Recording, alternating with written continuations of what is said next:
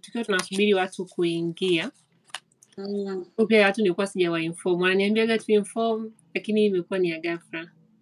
Surprise one. Ya, ni- surprise. Ngoja tu nifanye introduction kwanza. Um, hi guys mambo vipi? Karibu tena kwa channel yangu ya youtube. Uh, kama wewe ni mgeni naitwa witness vlog. Mimi ni mtanzania naishi denmark na leo na mgeni wangu anaitwa stacy. Atajitambulisha vizuri. Yeah stacy. Wewe ni stacy vivo hivyo? Hapana, hilo ni jina la social media.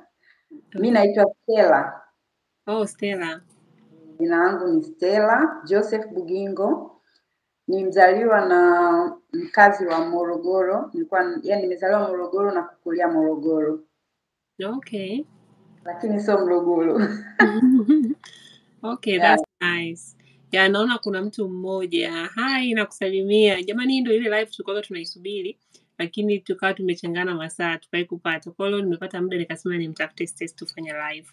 Uh, Stacy kabla tujaanza na kabla tunasubiri watu waga na warm up questions ambazo unaji, unachagua tu mo, kitu kimoja kati ya hivyo. Ya uko tayari? Niko tayari. ya ukiambiwa uchague Schengen visa na American visa. Ah, sijawahi kufika Schengen, but yeah, America it's, it's, it's for me it's the best because ndo kwenye sehemu ambayo niko. okay Yeah. Ah, yeah. Ah, unapenda kufanyia kazi nyumbani au unapenda kufanyia kazi nyumbani? No, unapenda kufanya kazi ofisini au unapenda kufanya kazi nyumbani?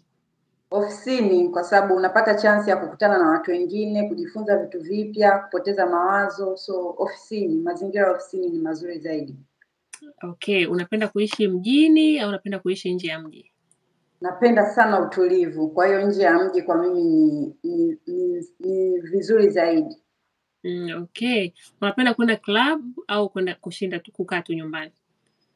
Hapana, mimi sio mtu wa club, sipendi club.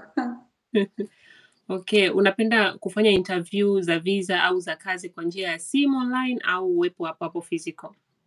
Niwe hapo hapo, napenda eye contact.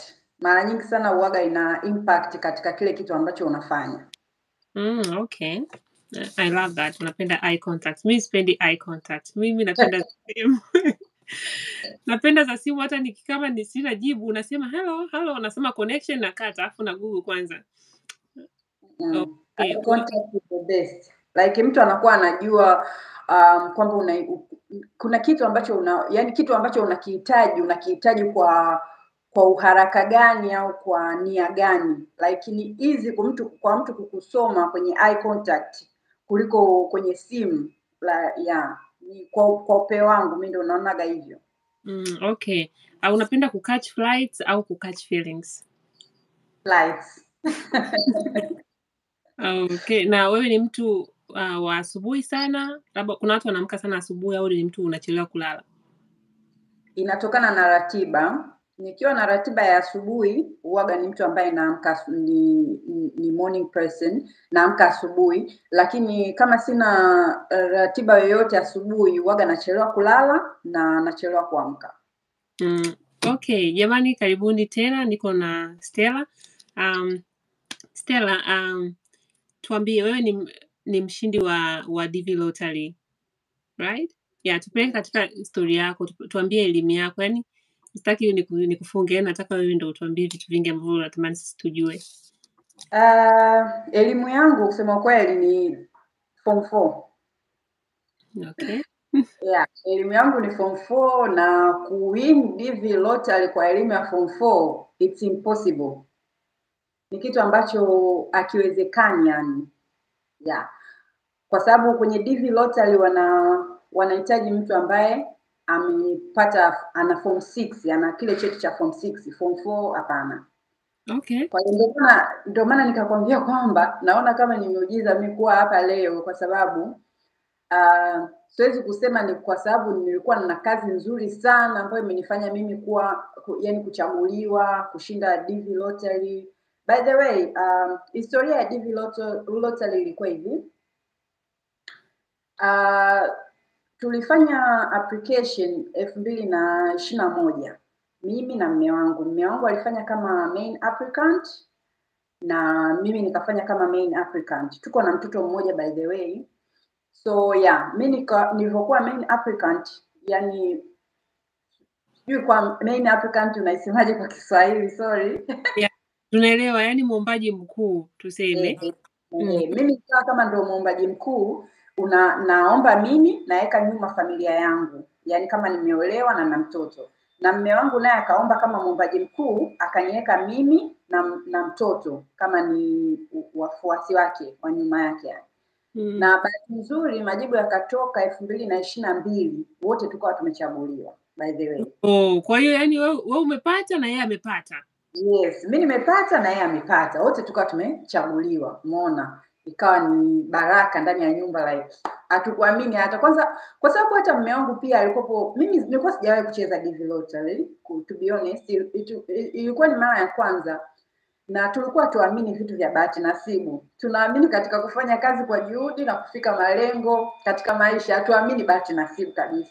Sasa Mm. kilichotokea ni kwamba kaka, ka, mme wangu yuko na kaka sasa huyo kaka yake alicheza divi lottery akashinda. Alivyoshinda akamwambia mdogo wake, jaribu hii kitu mdogo, yani ambaye ndio mume wangu.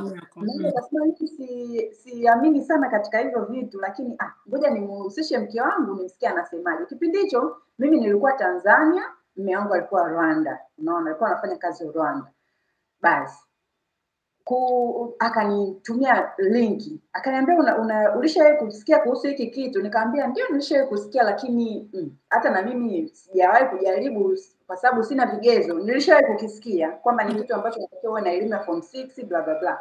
Mume wangu akasema tujaribu hatuwezi kujua. Naona. Nikasema hamna shida kwani tujaribu? Tu akasema ah, mi hata sijiamini lakini kwani kuna shida gani kwa sababu kuapply ni bure tuvifanye tu tukaapply wenyewe tukaenda studio mimi na mwanangu nikapiga picha nikamtumia zile picha ya akaenda akafanya application na mimi nikafanya na mimi nikafanya application kivyangu yeah. so matokeo yalivyotoka sorry It's okay. huku kuna scam wanakupigia simu like every single minute Wow. yeah. Yeah, so matokeo yalivyotoka tukawa wote tumechaguliwa. It was like tukajishangaa tukasema okay, tuvi, tuendelee kuvifuatilia. Tukaanza kuvifuatilia. Sasa kilicho yani, kulikuwa na a lot of hiccups um, kwa sababu mme wangu amechaguliwa namba ambayo ni ya mbele zaidi. Unajua zile case number ambazo tunakuwa tu, zinatoka sasa ukiwa na case number haya chance yako ya kupata interview ni lower. Ukiwa na, na case number lower chance yako ya, ku, ya kupata interview iko high sana. Unaona?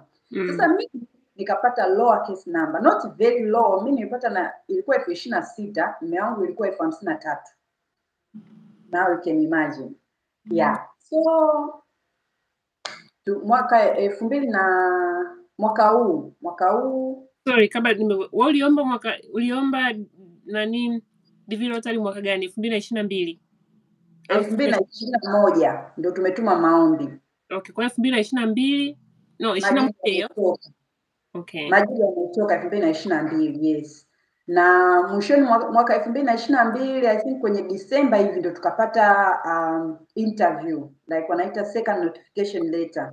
Mm. tukapata second notification letter ambayo ndo tumefanya kwa sababu huo mwaka ambao sisi tulifanyia DV, yani wale washindi wa elfu mbili na ishirini na moja kwenda elfu mbili na ishirini na mbili yani kulikuwa na yani haikuwa ilikuwa ni easy kwa sababu interviews zilikuwa zinaenda sana like visa bulletins zilikuwa zinatoka kwa wakati na namba za interviews zilikuwa zinakuwa nyingi sana unaona kwa hiyo tukapata hiyo chance mapema ya kufanya mi nilifanya interview yangu tarehe ishirini mwezi wa tatu mwaka huu elfu mbili na ishirini na tatu Okay. na mme wako? Mme wangu sasa yeye kipindi ambacho mi napata second inter, second notification letter yeye kwake alikuwa bado haja- hajafikiwa. Yani kwenye kesi yake ilikuwa unaona bado iko nyuma sana. Okay. the catch was mimi niko na work experience sina um, education ambayo ilikuwa ina iko required lakini mme wangu yuko na vyote. Yuko na work experience ambayo ni kwa sababu alikuwa anafanya kazi kwenye management position na yuko na high school diploma ambayo ndio kigezo cha kwanza cha DV kinachotakiwa unaona Okay. Na wewe ulikuwa una experience ya kazi gani na umefanya miaka mingapi? mimi nilikuwa na experience ya ushef nimefanya zaidi ya miaka mitatu in South Africa. Okay, kwa hiyo ulitumia hiyo experience. Yes. Okay. Yes, ndio hiyo ambayo niliitumia.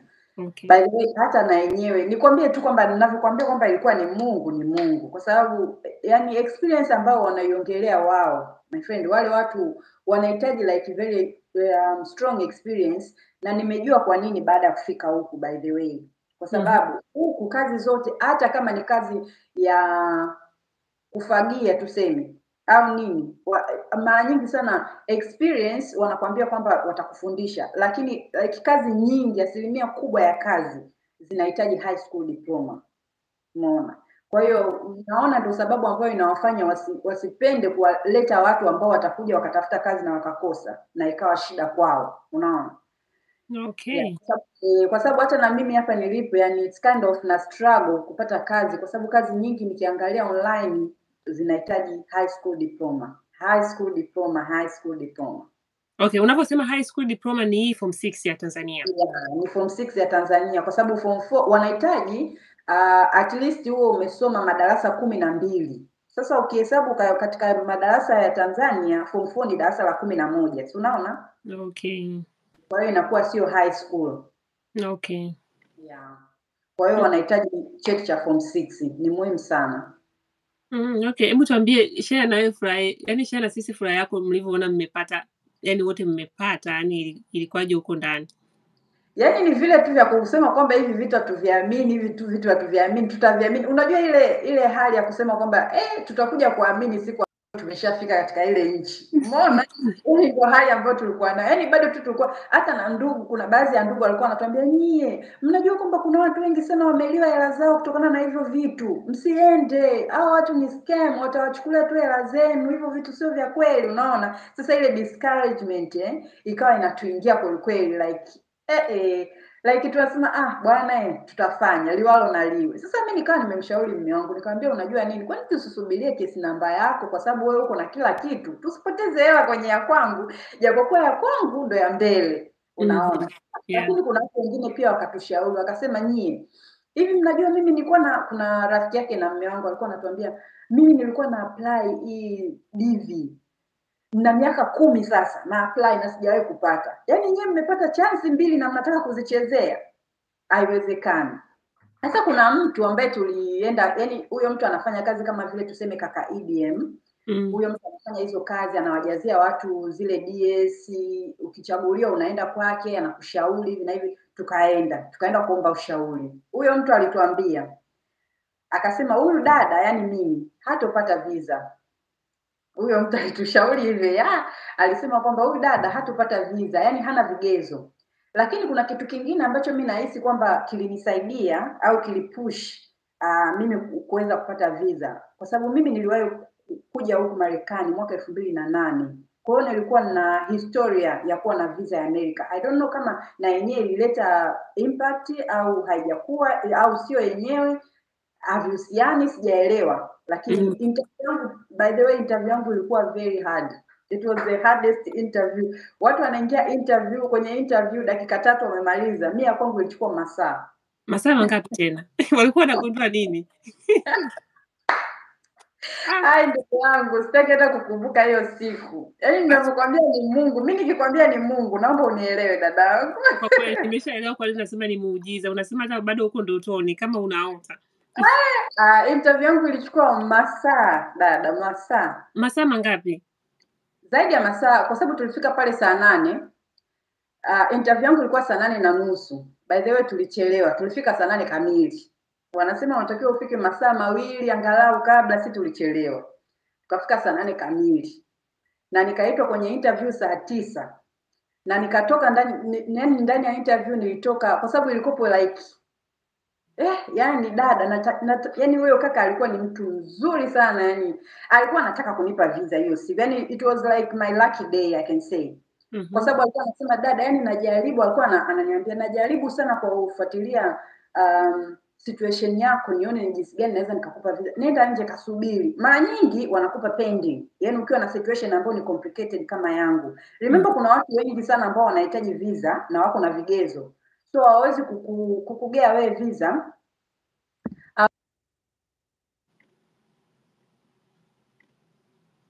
Oh, sorry. Jamani poleni mtandao. yeah Okay. hawezi kukupa wewe visa ukiwa na na issue ambazo zinawa complicated na zinawa complicate Mm -hmm. so waka, wakawa wananiambia nenda nje subiria tutakuita hakuna mtu ambaye anaambiwaga hivyo mara nyingi wanakwambia nenda tutakutumia email your visa haijakuwa approved vitu kama hivyo unaona lakini mimi walikuwa wananiambia nenda kasubiri nje tutakuita nenda kasubiri nje tutakuita naenda wananiuliza tena maswali mengine uliwahi kufanya hivi uliwahi kufanya hivi ndio hapana ndio hapa okay nenda kasubiri nje tutakuita it was like that so Wow. Yeah, yeah, yeah. that was tough. Well, that was tough. Na maswali wanaokuuliza ni maswali gani kwa mfano? Okay, kwa sababu he, yani ninavyokwambia ni rare sana kwa watu ambao wanakuwa na work experience ku Au elimu? kuuliza.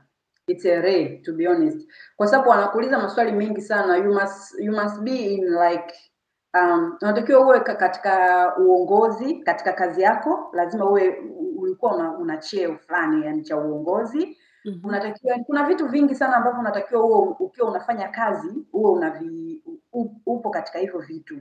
Sasa kwenye uongozi. Awachukui tu tuseme kama wewe ulikuwa unafanya kazi sijui ya, ya kutengeneza magari tuseme. Alafu we kazi yako hiyo ya kutengeneza magari yani wewe ni kutengeneza magari lakini haujakuwa na uongozi wa aina yoyote ile. Au useme kama kazi yangu mimi kwa mfano nichukulie kazi yangu mimi nilikuwa nafanya kazi kwenye kitchen as a chef.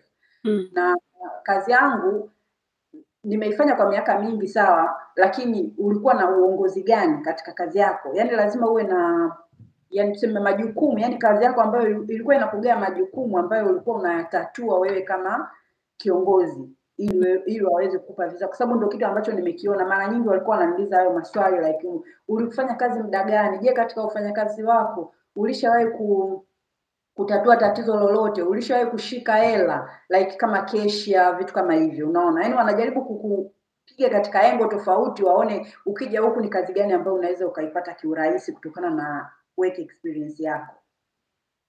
Okay, kwa hiyo interview ilikuwa tough. very very tough like yeah. Hata hivyo na sisi tulikuwa tumeenda katika hi- hiyo interview ya kusema kwamba let us not um, tusipoteze chance ambazo tumepewa. Tume tume tumewini wote wawili, hatujajua sababu. Mungu anakuwa na sababu zake. Kwa hiyo Mm. vile vya mimi kumshawishi mme wangu kumwambia tuachane na kesi namba yangu tusubiri ya kwake, akaniambia hapana, ngoja tufanye hivi vitu. Kama tutapoteza hela tutakuwa tumejifunza kitu, lakini tufanye. Unaona, hatuwezi kupoteza hizi chance ambazo tumekosa. Angalau tukikosa ya kwako, tunasubiria ya kwangu, kuliko tukisema tusubirie ya kwangu na isipokuwa, kwa sababu kesi yake ilikuwa ni very high. elfu hamsini na tatu ni mbali sana, unaona Yeah. ishirini na sita kwa elfu hamsini na tatu unaweza ukaona hiyo gap ambayo iko hapo katikati. Basi akaniambia tufanye zote, tutafanya zote kwa sababu ni pesa nyingi pia. Ya DV inachukua pesa to be honest, kwa sababu ya kwenye medical mnachukua mna- hela kufuatilia, sijui kwa sababu kuna vi, vitu ambavyo mnatakiwa kufuatilia like documents ambazo mnatakiwa kufuatilia, hivyo vyeti vya kuzaliwa. Mi nilikuwa navyo, passport nilikuwa nayo, lakini kama mtu ambaye ndo anakuwa amewin alafu hana hivyo vitu, niumiza kichwa Yeah. Inachukua muda, inachukua pesa na yeah, medical aid, medical um, check up sasa ndio inachukua pesa nyingi pamoja na hela ya visa, lakini hizo pia transportation za kutoka kushoto kwenda kulia, ukikusanya hela zote ukaweka pamoja ni hela nyingi, alafu kumbuka ni familia ya watu watatu, kwa hiyo ya vitu vyote vinabidi vimatch, majina ya match. So kuna unaona vile vitu vyetu vya Kitanzania, by the way yeah, some of us like una, unajikuta shuleni nilitumia sijui jina la mjomba, sijui niliongeza s, sijui nilitoa nini. Kwa hiyo inabidi ufuatilie hivyo vitu vyote viende katika mstari. Kwa hiyo yeah, it was like nilikuwa up and down kufuatilia hivyo vitu vyote, so ni vizuri na like main thing kabla ya kutaka kuapply um, una apply lakini pia apply passport. Kuwa na passport haimuumizi mtu yoyote ya, lakini na ni kitu kizuri ambacho unatakiwa kuwa nacho, kwa sababu huwezi kujua fursa inaweza ikatoka wapi kwa muda gani. Kwa hiyo yeah, na fursa nyingi za ukiwa na ndoto za kwenda ughaibuni inabidi uwe na passport. So passport ni kitu ni kitu cha muhimu sana ambacho kitu ambacho naweza kuambia Watanzania na watu wengine wanaotuangalia. Passport ni kitu muhimu sana. Mm. Okay, thank you. Na muda wa kwenye interview ulienda mwenyewe au ulienda na mume wako, ulikuwa na familia yako? Mm, interview kama u, kama wewe ulijiandikisha huko mwenyewe, unaenda mwenyewe. Kama Okay. uliandikisha huko mme, mke na watoto watano, sita, familia yote lazima iwepo siku ya interview wawaone.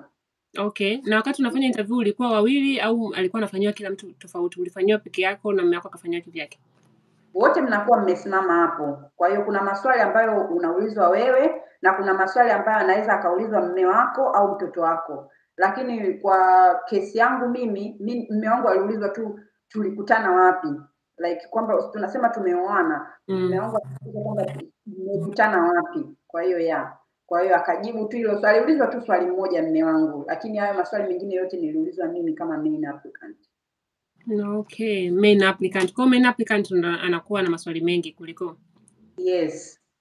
Okay, that is process zingine ambazo like mimi natakiwa kuchukua document za yani jinsi ambavyo, lakini nahisi ni, ni ile embassy kutokana na labda udogo wake kwa ndani. Kwa hiyo watu wen- wengi wakawa wamekaa nje, like familia zikawa zimekaa nje, and main applicant ndio tukawa tumeingia ndani na file. Na unakuwa na faili ambalo linakuwa na hizo document zote za watu wote, unaona ya ndo unaingia nazo mle ndani. Ukishaingia nazo mle ndani, ni- main applicant tu ndo tulikuwa tumeingia katika process ya document, kwa sababu kuna first unaenda kulipa hizi. Kwa hiyo main applicant tu ndo tuliruhusiwa kuingia, au wengine wakawa wamebaki nje, familia zikawa zimebaki nje. Lakini ikishafika sasa, ukishaitwa kwenye interview, ndo mnabidi wote mnaingia kwenye interview, kwenye chumba cha interview. Mm, okay. Na majibu ya kusema umepata visa au hujapata unayapata baada ya siku ngapi? Ni hapo hapo au unasubiri? Majibu unapewa hapo kwa hapo. Okay. Kama umepata visa, wanakwambia congratulations, your visa has been approved. Um, wanakwambia wanakurudishia kila kitu chako by the way, wanakurudishia kwa sababu unawagea document zote unawapa, wanatoa photocopy wanabaki nazo, wanakurudishia original. Alafu wakikwambia hivyo, kuna karatasi ambayo wanakupa ambayo inakwambia congratulations, your visa has been approved. Uje tarehe fulani fulani kufata pass passport, ndio ambazo wanabaki nazo kwa ajili ya kuweka ile sticker. hiyo. Yeah. Mm, na okay. kama hujapata una- wanakuambia kwamba nenda uya, uya, wa, bado wanakuweka tu pending. Kuna ambao wanakuwa decline like wanakuambia kabisa hapo kwa hapo your visa has been declined. Hakuna hakuna kushoto kulia. Mara nyingi ubalozini wanakupa jibu lako hapo hapo, lakini unaenda nyumbani ukiwa unajua kesi yako ikoje, unless kwa wale ambao wako pending ndio wanakuwa hawajui kama watapata au watakosa. Ah, okay, ya, kwa kweli ni muujiza kwa sababu kama hata huyo huyo interview alikuwa na muda wa kusikiliza mara nyingi nyingi yani. Wakati anakuambia naenda nitakuita, alikuwa aki- akikusubirisha ana- anahudumia watu wengine au ilikuwa ni wewe tu? Mimi ndo nilikuwa nimebaki wa mwisho kwa sababu nimetoka pale saa kumi na moja ambao ndo muda ambao walikuwa wanafunga ofisi. Kwa hiyo mi nilikuwa nimebaki peke yangu, Okay. wote walikuwa wameshaondoka. Yaani mimi nili- nilikuwa inter, nilikuwa interviewed wa mwisho Mm, okay, kwa kweli Mungu ni mwaminifu. Yeah. Yeah. Na ulifanya interview umesema ni mwezi wa tatu. eh, tarehe ishirini mwezi wa tatu Yeah. Baada ya wiki moja nikaenda kuchukua visa ya tukajipanga. Wa, ukipewa visa by the way I think wana, wanaangalia uh, kwenye zile medical kuna kuna wanakupima pia TB like mm-hmm. kama wewe ni mgonjwa wa TB, sahau kuhusu America hawachukuagi sana wagonjwa wa TB like hiyo ni it's a no from them. So mara nyingi kile ile nini ya TB ina last for six months, so wanaangalia ulifanya ulifanya ile ile medical check up lini, alafu wana wanakugea visa accordingly. Like kama sisi tulikuwa tumefanya mwezi mmoja kabla ya kwenda kwenye kwenye interview, kwa hiyo mara nyingi wanakugea six months ya kujiandaa, like wanakugea visa ya six months mm. ya maandalizi ya safari. So sisi tulipewa I think tulipewa five months or four, I can't remember. Yeah, kitu kama hicho tulipewa five or four kutokana na ile siku ambayo tulienda kufanyia medical check up. Mm, Okay, na United States of America ulifika lini? Nakumbuka ulinitumia uli- uli- ulinitumia picha ile welcome to the US. Yeah, tulifika hapa tarehe tulitoka tulitoka huko tale tano mwezi wa tale tarehe tano mwezi wa sita tukafika hapa tale sita mwezi wa sita. Mm, kwa hiyo ilikuwa ni mwezi wa sita. Mm, Yeah, unaionaje Marekani so far? But wewe ulishafika Marekani. Mara ya kwanza kwenda Marekani ulienda kwa issue gani? ilikuwa ni kutembea kikazi au kwa watu ambao Hapana, mara ya kwanza kufika uh, Marekani ilikuwa ni kwa njia ya kuna hii kampuni ni NGO inaitwa We Are Family Foundation. mm. So WAFF wanajiita kama WAF. Yeah. Mm. So hiyo kampuni inadili na watu ambao most like teenagers ambao wanaleta impact katika community zao. Community ni jamii jamii, yes. Tumefika marekani hata mwaka hatuna tumeshasahau kiswahili hapana, nime no no mi nakuelewa nilikuwa nakutania nakuelewa yeah, kabisa okay. yeah.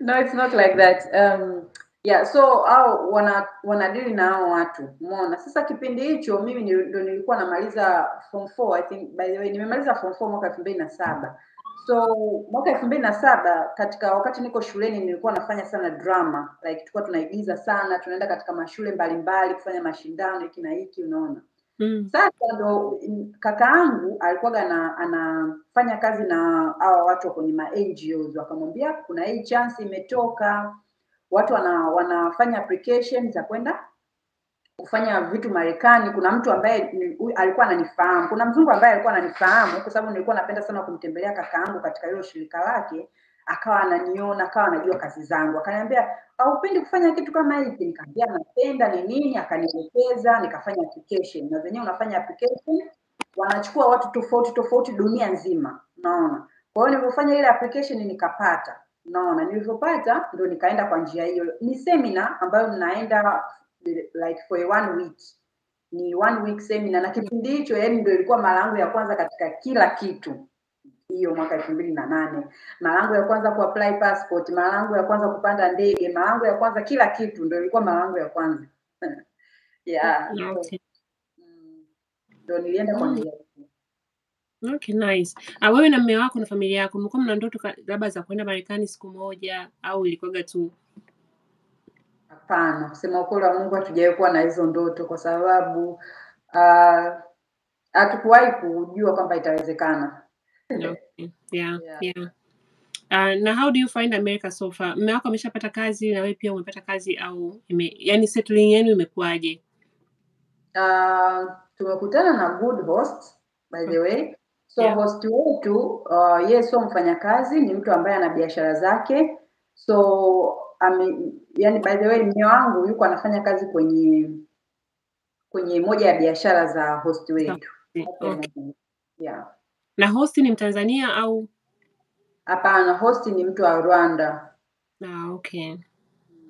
Mm, that is really nice. Na mtoto ameanza kwenda shule na nini?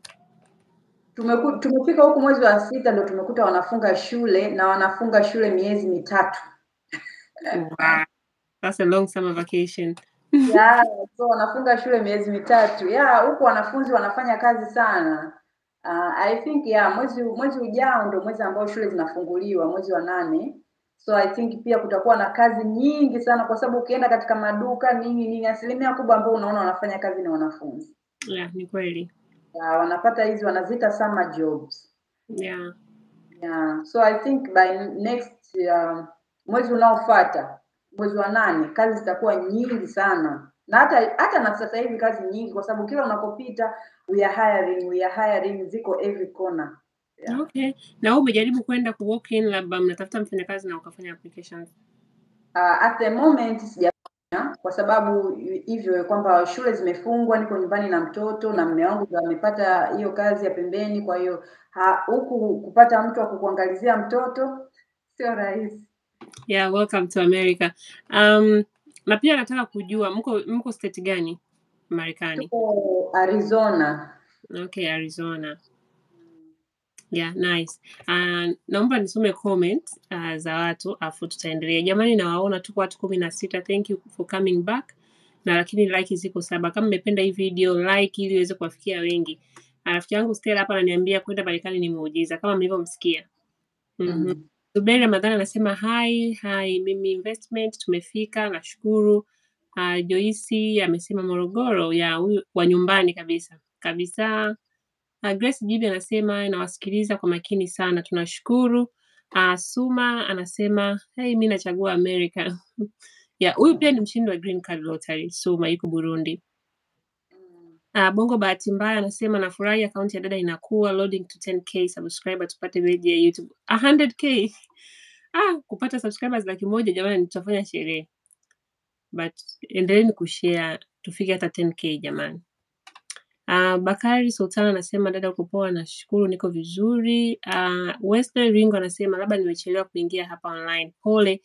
Uh, tuko na Stera um, yuko Marekani sasa hivi, ni mshindi wa Green Card Lottery na ameshinda kwa, kwa, kwa mara yake ya kwanza tu ya application. Umeona, Chakubanga ametusalimia na kuona.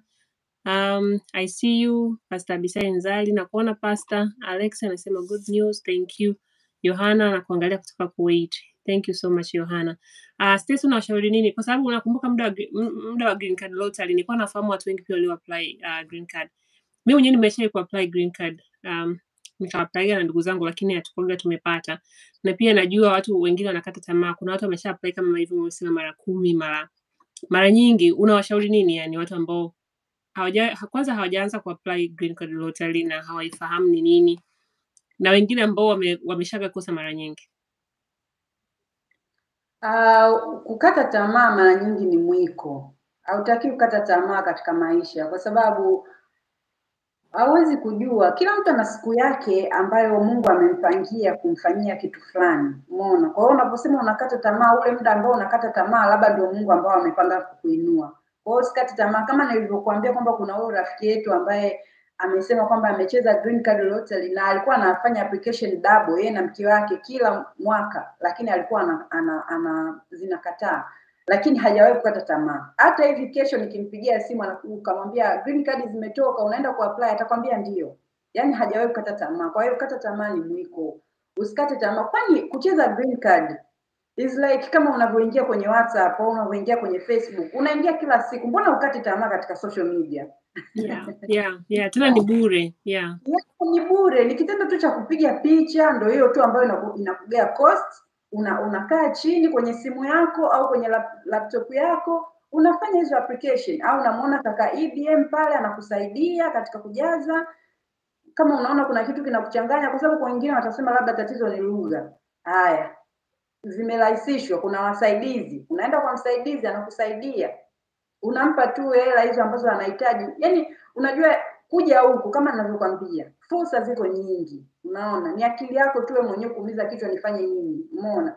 Kwa hiyo Mm. zile hela ambazo wewe unaona eh, ni pesa nyingi, nitatumia hiki na kile, kumbuka kwamba ukishafanikiwa hizo pesa ukija huku utazirudisha, utazirudisha tu Yeah, ni kweli hata kama ulikuwa umekopa ukifanya kazi zinarudi.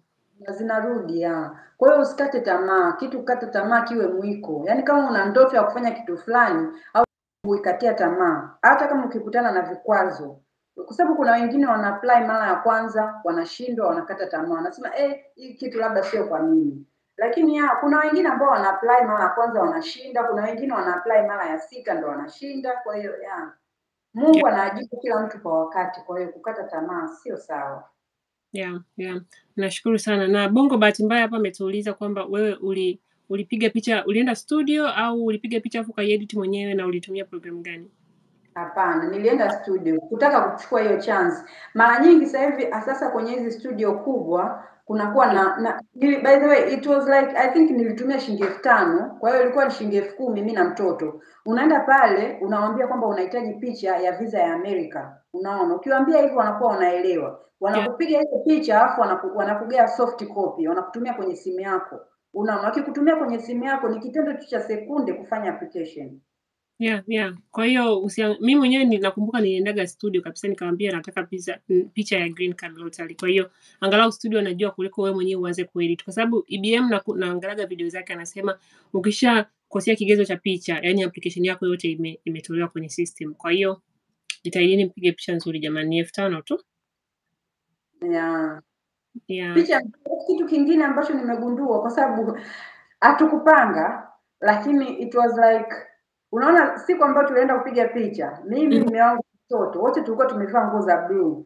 So i don't know kama na na nguo ambayo unavaa inachangia like picha ilitoka nzuri kweli. Tulivaa nguo za blue like mimi nimeomba ananitumia picha ambayo amepiga na mimi namtumia ambayo nimepiga mimi na mtoto wote tumevaa blue. So I don't know kama blue was a, a, a lucky thing or sijajua kwa kweli. Lakini ya jaribu na wewe Jamani, mmechishe, mmechishe. Kuna baraka kwenye kumechisha kabisa. Inawezekana pia huwezi kujua, labda system ilisisoti pamoja, maana mimi si- siamini kama kuna coincidence kwenye maisha. Kwa sababu gani? Wewe, wewe na mume wako wote mpate, umeona? mm. Yaani mmepata wote, alafu ni mara yenu ya kwanza ku, kuapply. Kwa hiyo huwezi kujua, Mungu ana miujiza mingi. Ya watu wengi sana wanasema ni mara chache sana kwa hiyo kutokea yani ni ya alafu ile siku ambayo nimeenda kufanya interview ndio siku ambayo mume wangu naye alipata second notification ambayo alitakiwa kufanya interview yake itakiwa iwe tarehe kumi na tano mwezi wa nne Ah, okay, ilikuwa pia karibu.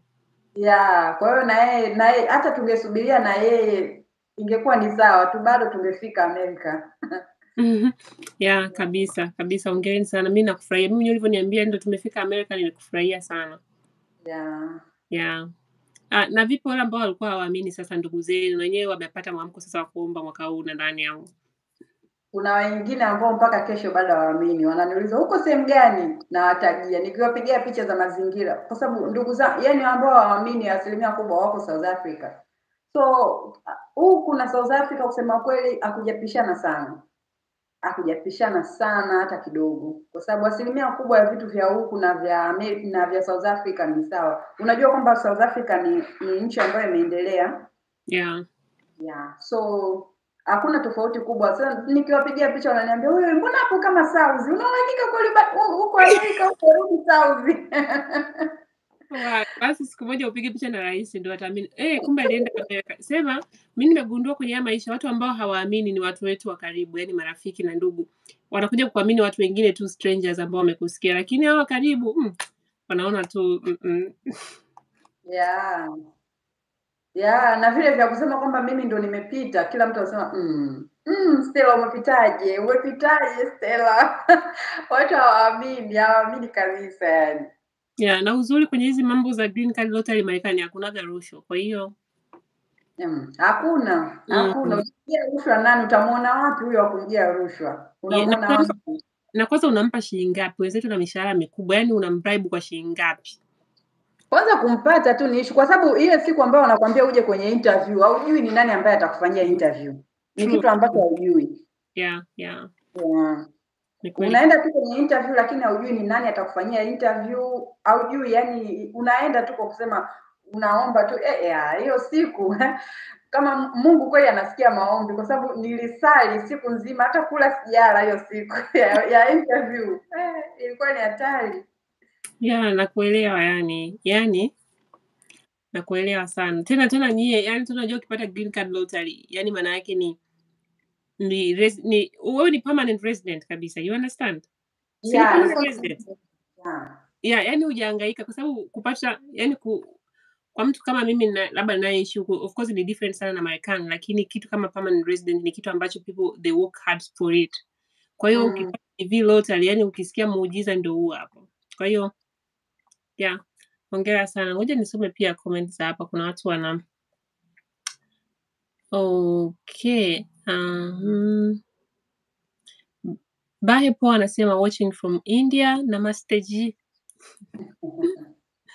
Okay. Uh, Alex Varia anasema natamani sana kuja huko, sema basi tu. Jamani, hakuna cha basi tu. Green Card Lottery it's free. You have to apply. Uh, safari ya kwenda nje ya nchi lazima uwekeze pesa. So, ni kweli kabisa Bahe. Yaani you have to invest in money. Uh, ni mwezi wa ngapi application? Hebu tukumbushe dada mwezi wa ngapi application? Application ilikuwa I think ni Oktoba kila Yeah. mwaka yeah. Alafu majibu yanatokea mwaka mwingine mwezi wa tano. Okay, jamani ni Oktoba. Muapply. Kama wewe una mke, una mume, mnaongeza double chance. Applyini wote. Umeona?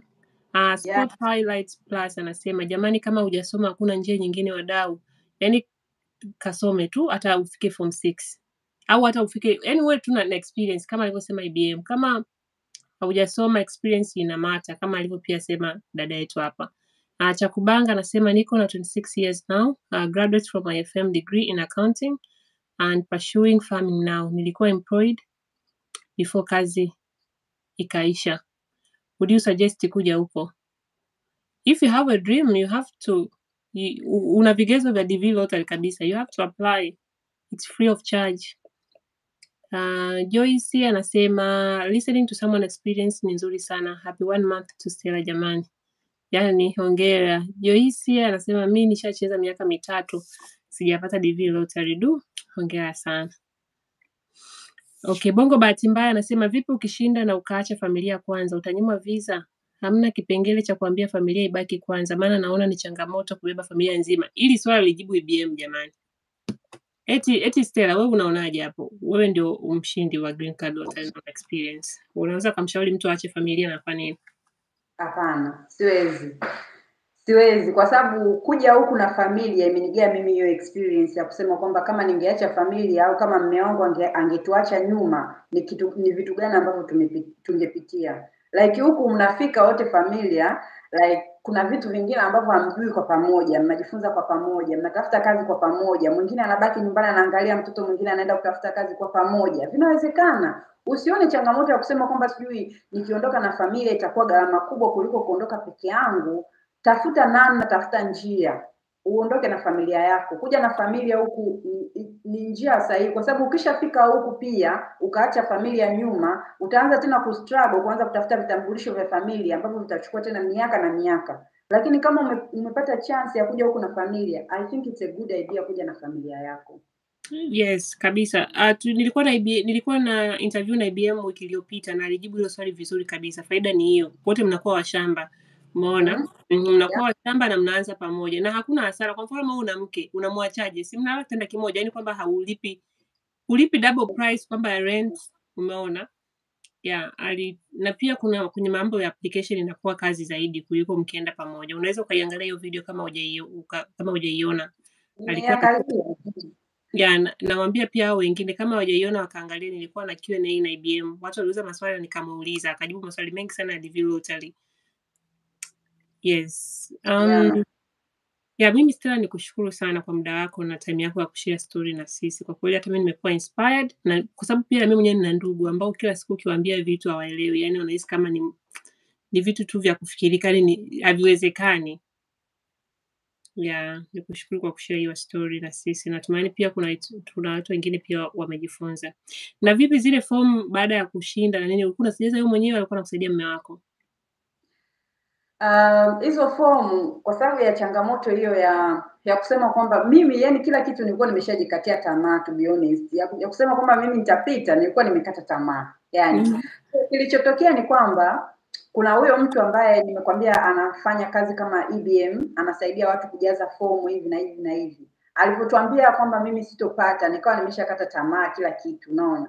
Kwa hiyo huyo mtu anachaji hela katika kujaza zile fomu. Like if you are family, kuna kiasi cha pesa ambazo anachaji, if you are single, kuna kiasi cha pesa ambacho anakichaji. Kwa hiyo mimi nilivyoona uh, yani kama yani kama angejaza ya kwangu mimi afu akajaza na mme wangu, pesa zingekuwa nyingi, unaona. Kwa hiyo mimi nikamwambia mume wangu, nikamshauri mume wangu, nikamwambia unajua nini, mwache yeye ajaze, mimi nitakuwa namwangalia anavyojaza, kwa sababu akijaza inabidi na wewe umekaa pale unaangalia ni maswali ambayo anakuuliza it's about you. Kwa hiyo na- kuna maswali ambayo anakuuliza na wewe unamjibu ukiwa pale, unaona.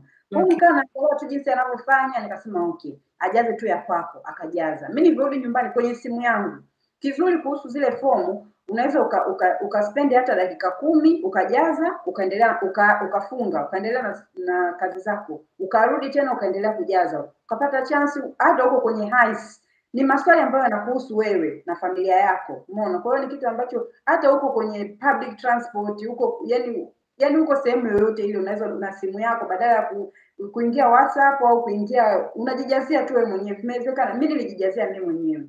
Okay, yeah. mwenyewe yes kwenye simu na ilichukua like wiki nzima niko najaza na hisi ni, wiki na siku kadhaa niko najaza tu hiyo fomu kwa sababu ina maswali mengi sana hiyo ds 260 ina maswali mengi sana Okay. Na na kujaza hiyo kwa bei gani? uh, kwa sababu kipindi hicho sisi tulikuwa sasa tumeshatoka tanzania tumeungana na mme wangu rwanda Okay. alipokuwa anafanya kazi kwa hiyo huyo mtu alituchaji katika hela za rwanda kama Mm. ilikuwa ni elfu kumi na tano elfu ishirini za faranga Mm, that is expensive. ya ni kama elfu arobaini ya, ya shilingi Mm, okay. sasa imagine elfu themanini zote Wakati unaweza ukakaa ukajaza. Mimi mwenyewe ishu zangu za document za uhamiaji, yani mimi mwenyewe yeah. kuliko nikamlipe mtu, bora ni spend time nikafanye. yeah. Yeah. yaani kuenda kwake ilikuwa ni vitu ambavyo vinawezekana hata kujaza na ya mme wangu kwa sababu mme wangu yeye alikuwa ni mtu ambaye yuko busy sana na kazini anapata tu ofu moja katika wiki nzima kwa hiyo yani ilikuwa hana muda huo kufanya hivyo vitu kwa hiyo mimi nilikuwa na muda sana kwa sababu nilikuwa tu nyumbani lakini ni ile experience ya kusema tusiharibu unaona ile ya kusema kwamba tunaweza tukajifanya tuka, wajanja tunajua tunajua tukaharibu tusiharibu vyote yeah. Mm, okay. yeah, that is nice. yeah, ngoja. Um, tu ni hapa kuna maswali hapa. Uh, Chakubanga anasema je, invitation kutoka kwa ndugu walioko nje ni, ni njia bora au best kuja huko? Yeah, kama una mtu kuinvite unaweza yeah. pia ukafika Marekani kwa njia hiyo. Tena uzuri ukienda Marekani unaweza ukabadilisha status. Uh, Bethe Bahe Pau anasema Stella, tunakuja next year tuwekee makazi mazuri huko. Karibuni. Mhm. Alex anasema anamtafuta mtu anayeishi Poland. Okay. Uh, Joyce anasema Chakubanga, nimeona unasoma farming, ungetafuta watu kama UCDP Instagram wakusaidia sana na program nyingi. Yes, kuna watu najua ni wageni. Kwa mfano kama kuna mtu ni mgeni amefika, hii ni video yangu ya kwanza, please, kama umefika hapa ni mgeni, na kushauri ukaangalia other videos. I have a lot of videos, videos kama mia nne. Take your time and watch, kwa sababu pia mnaulizaga maswali ambayo nimeshayajibu most of the time. Uh, Stella nikushukuru, nakushukuru sana kwa muda wako na nakushukuru kwa kushare your story with us. Ya, nakutakia maisha mema hapo Marekani. Wanasema ni land, land of free. Eh, Huko you can be whatever you want to be. Mm, true. Yeah, kwa hiyo una, una yani you have a future ahead of you na unaweza ukafanya kitu chochote. Hata ukitaka kusoma sasa hivi uta yani you can go to school and, and start again. Yeah. Kuko na opportunity nyingi, hicho ni kitu ambacho nimekiona sana. The moment you fill form unasema nataka natafuta shule. Oh oh. Yaani kile kitendo tu cha kuweka email yako like in public. Oh oh. yani zinakuja email kama mvua. Kuna shule, kuna shule, kuna shule. Tumeona na simu pia. Hata na kazi. Kile kitendo cha kuweka your CV on Indeed na kusema unatafuta kazi. Oh oh. Email zinakuja kama mvua kwenye kwenye kwenye inbox yako. Tumeona email, tumeona CV yako, tunatafuta mtu kama wewe. Tumeona eh, hadi unaanza ku unsubscribe now. Kila yani huku kuna opportunity to be honest. Kama ni shule, kama ni kazi, kama ni nini, yani ni, ni wewe mwenyewe tu kuchagua nini unataka. Opportunity ni nyingi kwa kweli sana. Yeah, yeah, yeah.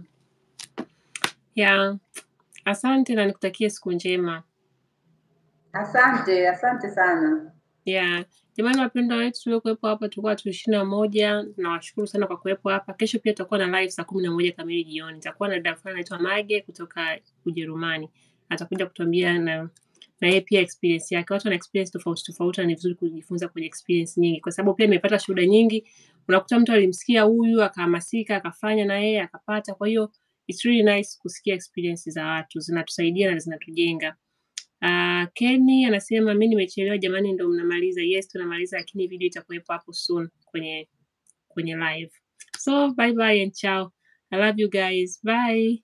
Bye.